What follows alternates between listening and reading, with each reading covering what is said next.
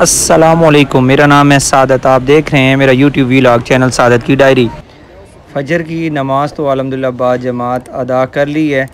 आज मैं इन ताला जाऊँगा जन्नतुलबकी देखने के लिए। क्योंकि जन्नतुलबकी दिन में दो टाइम ओपन किया जाता है, फजर की नमाज़ के फ़ौर बाद और असर के बाद। बाकी दिन में बंद होता है। ये हजूर वसल्लम के रोज़ा पाक के बिल्कुल मशरक़ की जानब gate number three six four के बिल्कुल साथ जन्नतुलबकी की दीवार है। तो मैं इसमें जन्नतुलबकी में दाखिल हो चुका हूँ। ये ट्रैक तकरीबन तीन से चार किलोमीटर का ट्रैक कब्रों के दरमियान में ट्रैक है। इसमें जन्नतुलबकी में तकरीबन एक लाख से ज़्यादा कब्रें मौजूद हैं।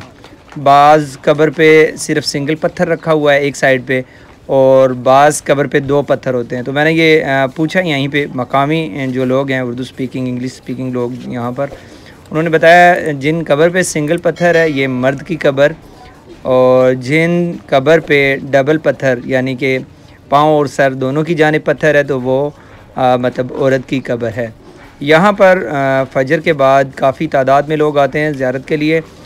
तो ट्रैक से आप रिवर्स नहीं हो सकते इधर उधर बैठ नहीं सकते और मतलब नीचे कब्रिस्तान की मट्टी को भी टच नहीं कर सकते क्योंकि यहाँ पर कमांडो जो शुरते हैं वो आ, मतलब बिल्कुल कम फासले पर तैनात हैं। वो इसलिए क्योंकि लोग यहाँ पर ज़्यारत के लिए आते थे और मट्टी या पत्थर अपने साथ ले जाते थे।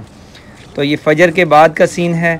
अभी मतलब रोशनी की दिन निकलने वाला है रोशनी आहिस्ता आहिस्ता बढ़ रही है और मुझे जनरल बकी से मस्जिद नबी के, क्योंकि ये बिल्कुल साथ है, ये मीनार भी मुझे यहाँ पर नज़र आ रहे हैं। और फिर यहाँ पर तकरीबन एक लाख के करीब कब्रें मौजूद हैं।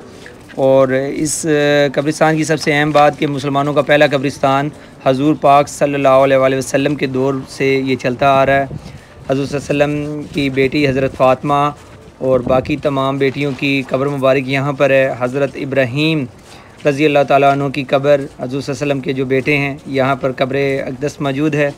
फिर इसी तरह सहाबा कराम हज़रत उस्मान गनी रज़ी अल्लाह तु की कब्र भी यहाँ पर मौजूद है। इसी तरह और भी सहाबा कराम शहदा और कई यहाँ पर कब्रें मौजूद हैं।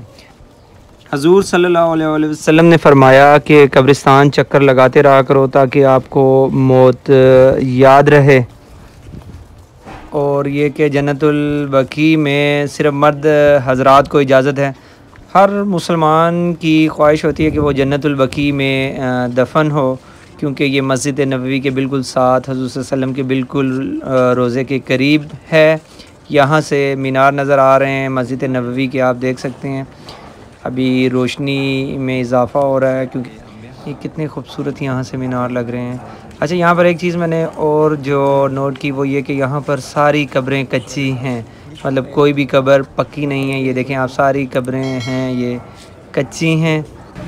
अल्लाह ताला हम सबको ईमान पर मरना नसीब फरमाए। आमीन, सुम्मा आमीन।